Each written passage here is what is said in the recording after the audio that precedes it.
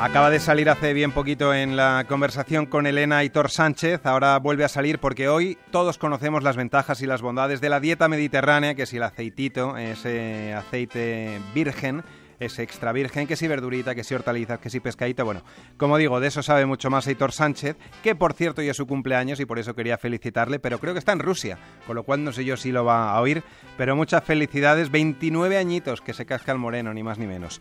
A ver, que a la dieta mediterránea, la que todos conocemos, fue inventada por un fraile español del siglo XVI, un soriano de pro que tuvo una vida interesante y apasionante donde las haya, así que vamos a conocer su historia. Para eso nos hemos puesto en contacto con Pedro Gargantilla, médico internista del Hospital del Escorial y autor de varios libros de divulgación, así que yo creo que queda mejor presentarle como médico, escritor y divulgador científico. A ver qué le parece. Hola Pedro, buenas tardes. Hola, buenas tardes. Es una forma correcta, ¿no? Correctísima. Perfecto. Bueno, lo primero el nombre del fraile para que sepamos de quién estamos hablando.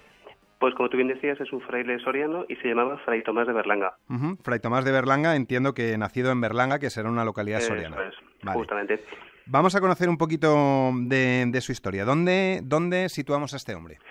Pues mira, en la línea del tiempo habría que situarle a finales del siglo XV. Es una época convulsa, tenemos a Carlos I de España y V de Alemania al frente del Imperio Español y es el momento en que nace Fray Tomás de Berlanga.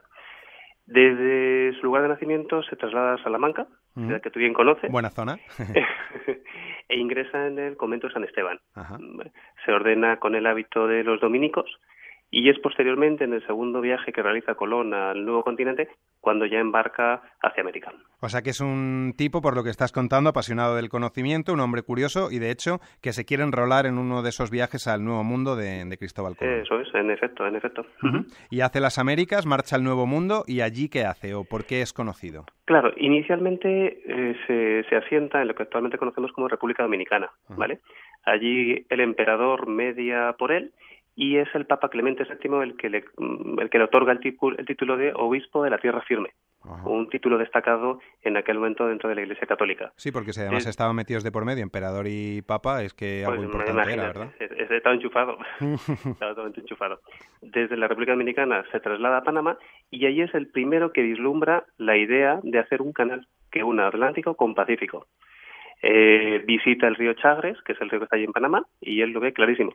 Le escribe al emperador pero el emperador, sus consejeros no lo ven claro. Un canal que un Pacífico con Atlántico no ven que aquello puede ser un negocio rentable. O sea que prácticamente del siglo XVI. Del siglo XVI y prácticamente, como decimos, un tipo avanzado porque es casi el precursor de lo que hoy realmente existe y que además se ha reformado hace bien poquito, que ya ha cumplido más de 100 años ese canal de Panamá. Eso es, eso es. Fíjate, o sea que pudo haber sido una, una obra arquitectónica patrimonio de, España en aquel momento. Oye, ahora seguimos, si quieres, cronológicamente hablando de él, pero por lo que he visto en uno de los artículos que, habías publicado sobre este hombre, creo que además destacaba como diplomático, eh, como defensor de los indígenas, o sea que era, a margen de todo lo que pudiera ser, un buen hombre, parece ser. Un buen hombre, y además con muchísima mano izquierda. Es decir, Carlos I, cuando le solicita para él lo que antes comentábamos del obispo de Tierra Firme, es porque es un defensor nato de los indígenas y sabe muy bien negociar entre conquistadores y nativos. Con lo cual esas eh, características y esas cualidades también son, son importantes. Nos habíamos quedado en ese intento, en ese vislumbramiento de lo que podía ser el canal de Panamá. ¿Qué pasa a partir de ese momento? Eso es. Mm, él está en Panamá y entonces Carlos I le encomienda una misión un tanto difícil y es que se desplaza hacia, hasta Perú y que allí se contacte con Pizarro para que le cuente un poquito qué es lo que están haciendo con los indígenas.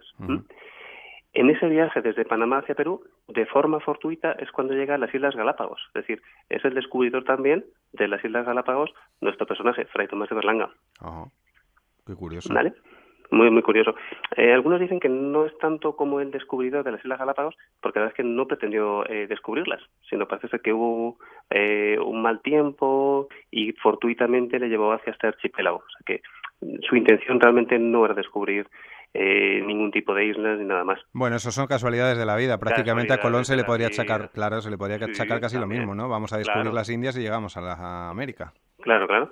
Allí, durante su estancia en Perú, allí enseña a los, eh, a los indígenas las técnicas agrícolas que utilizábamos en España, o sea que también por ahí pues es un introductor de algo que hacíamos en Europa y que fue muy importante luego para todos los indígenas de Sudamérica. Y además es cuando eh, descubre el tomate, descubre la patata, que posteriormente se introduciría en Europa.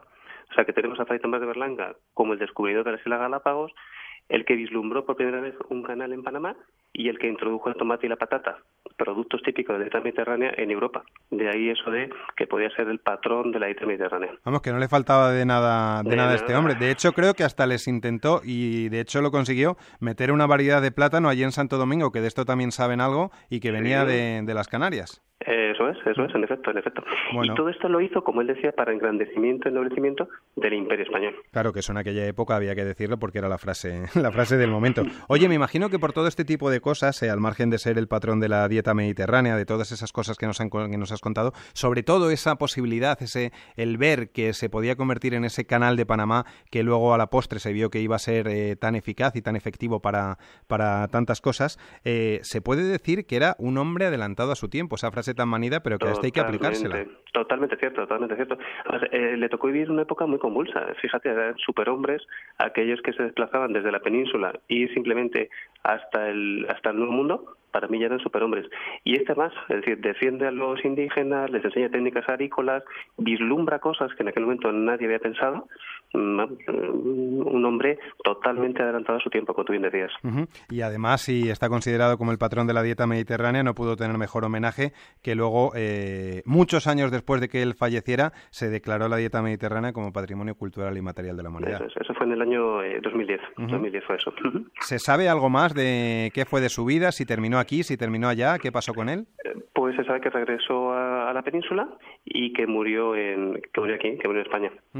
Perfecto, pues mira, hemos recordado la historia de Fray Tomás de Berlanga, que por lo que nos dices creo que está enterrado en la Capilla de los Cristos, ¿no? Allí mismo en Berlanga. Eso es, eso es. Pues aquí está la historia de este hombre, un tipo muy adelantado a su tiempo, Fray Tomás de Berlanga, el que nos trajo el tomate, el que nos trajo la patata, el descubridor de las Galápagos y el que aventuró ya ese posible hipotético canal de Panamá que en aquel entonces le dijeron que, que no iba a ser posible. Y todo esto lo hemos recordado con Pedro Gargantilla, que ya hemos dicho que es médico, que es escritor y que es divulgador científico. Pedro, cualquier otra historia interesante como esta, ya sabes dónde tienes un huequito para contárnosla. De acuerdo. Un abrazo. Tomaré nota. Un abrazo. hasta, otra. Chao. Hasta luego.